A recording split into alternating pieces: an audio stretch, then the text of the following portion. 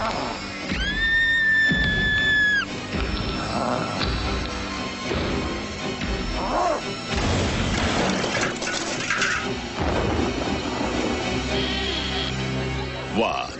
No dip?